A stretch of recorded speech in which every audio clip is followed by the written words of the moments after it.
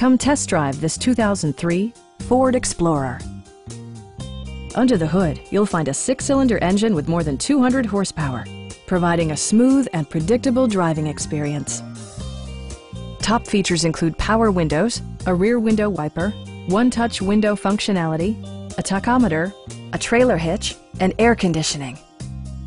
You and your passengers will enjoy the stereo system, which includes a CD player with AM-FM radio, a cassette player, and four well-positioned speakers.